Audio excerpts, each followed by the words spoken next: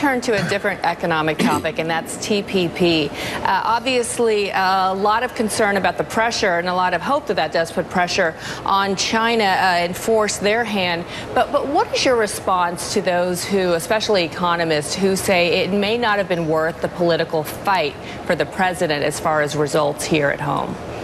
We're talking about 40% of the world's population and where most of the growth is coming from Asia.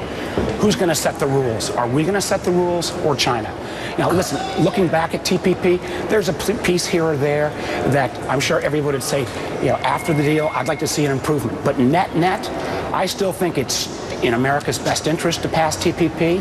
I think it'll create jobs. I think it will expand our influence in, in that terribly important area, Asia.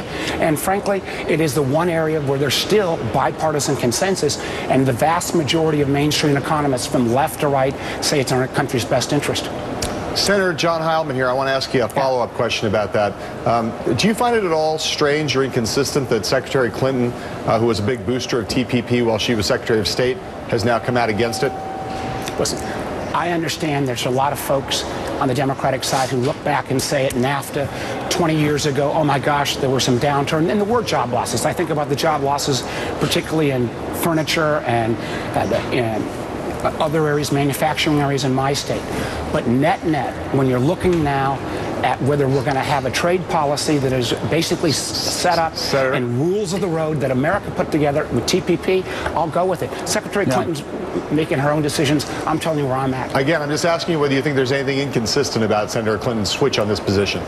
I think long-term expanded trade for our countries in our country's best interest.